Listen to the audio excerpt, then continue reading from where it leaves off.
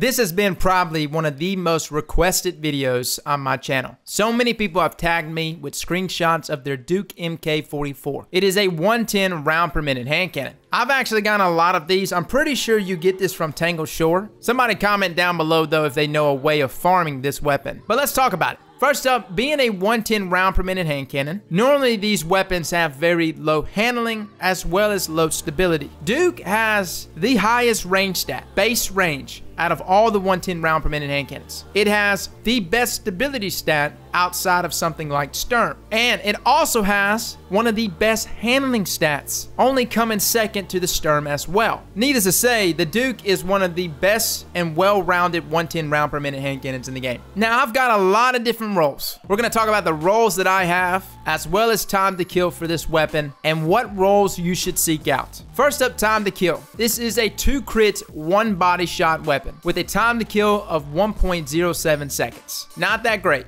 Where it truly shines though is when you can start landing perks like Kill Clip or Rampage. Both of those perks will allow this gun to turn into a two-tapper, giving you the ability to kill any Guardian in the game in 0.53 seconds. Put that in perspective guys, that's even faster than things like Not Forgotten and Luna's Howl. I'm rocking three different Dukes today. One of them is an opening shot ricochet round hip fire grip. I was kind of just playing around with it. I was mainly focusing on opening shot, which seems to play a role here with these slow fire rate weapons. I also picked up another one of these the other day. It came with Zen Moment, ricochet rounds, and moving target. On top of that, it even came with a stability masterwork. That almost seemed like the perfect role. But then, I found a role that fit my playstyle. It came with rapid hits, ricochet rounds, and rampage. Now for obvious reasons, I like ricochet rounds here. Extra stability, extra range. That extra range is going to maintain that you're going to two crit people when you do obtain Rampage. Rampage is very nice though. It throws that crit shot damage from 91 a crit to 100 per crit, making it very easy to 2 crit Guardians. Now the perk, Rapid Hit there. Man is this perk overlooked. This is one of the best perks in the game to have on your weapons, especially guns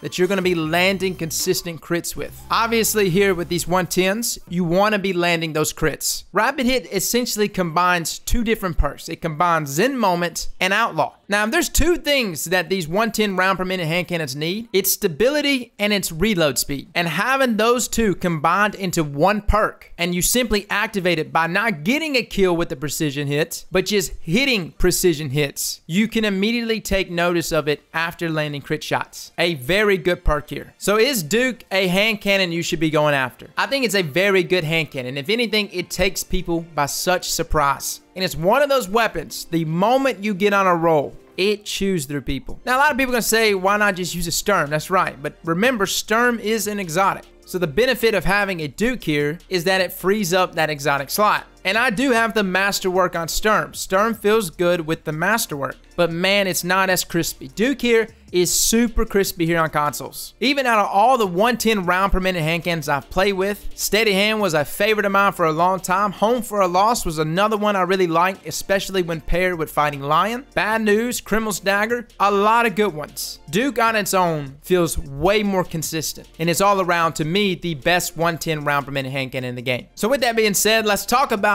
the God roll. So for PvP, I really liked Rapid Hit, guys. But then there's two other perks that I was very interested in. One was opening Shot, the other being rangefinder. Now, opening shot, you get not just improved accuracy, but you also get improved range. We saw yesterday from Mercules' breakdown for shotguns that opening shot added like an extra 0.5 to that one hit kill potential for shotguns, just because you get that improved range on that opening shot. So we can see here that it's very useful. Rangefinder, though, overall just boosts the, the range range of the weapon by just increasing the zoom magnification overall when aiming down sights. So I think it's a very good perk. For me though, since I tend to lose grasp of my shot at times, and it can just jump out of my hand. I like Rapid Hit. Magazine perk here is Ricochet Rounds. And for that final trait there, guys, all the way Rampage or Kill Clip. And I want to say Rampage is actually even better here. It's not that you can't utilize Kill Clip, But despite this weapon having 9 rounds in a magazine, once you get one stack of Rampage going, you've got a weapon now that can easily get you 3 more kills in that mag by just landing consistent crits. I mean, I was hogging lanes, and if anything, I dropped a rally barricade a bunch and would just sit there and chew through enemies. And they're just not expecting to get hit that hard. And again, guys, killing people